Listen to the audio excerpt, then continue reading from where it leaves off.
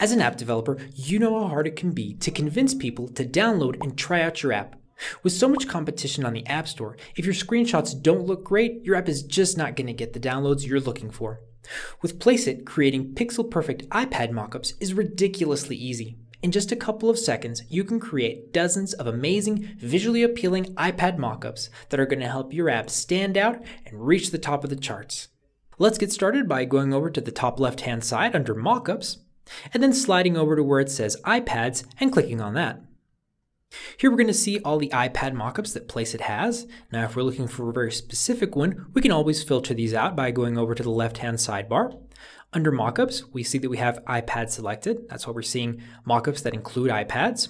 If we slide down to the next section, template types, we can filter by images, videos, mockups with transparent backgrounds, and so on.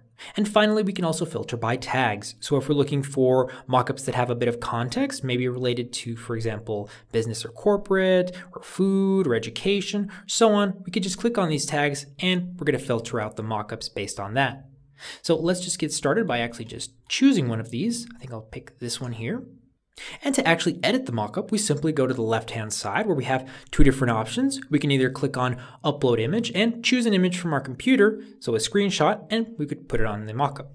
Or we could also click on From URL, and we get this pop-up where we simply type in the web address and then click on Go. And what Placeit would do is go to the website, take the screenshot, and format it for our mockup. So for this tutorial, I'm going to click on Upload Image because I already have a screenshot I want to use.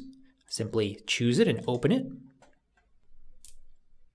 So we're going to get this pop-up that lets us reposition and resize our image. To reposition, we simply click and drag anywhere we'd like.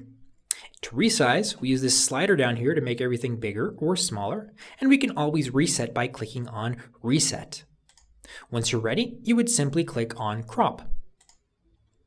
Perfect. So once we're satisfied with our mockup and we want to download it, we simply go to the top section here where we have the download button. We click on it and we get this pop-up that shows us the image format, so it's going to be a PNG, and the resolution of the mockup. Next, we would click on purchase and we would follow those steps.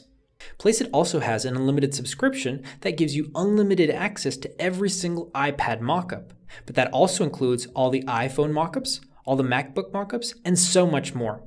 So if you're ready to give your app the best chance it has to succeed, a Placeit unlimited subscription is just what you need.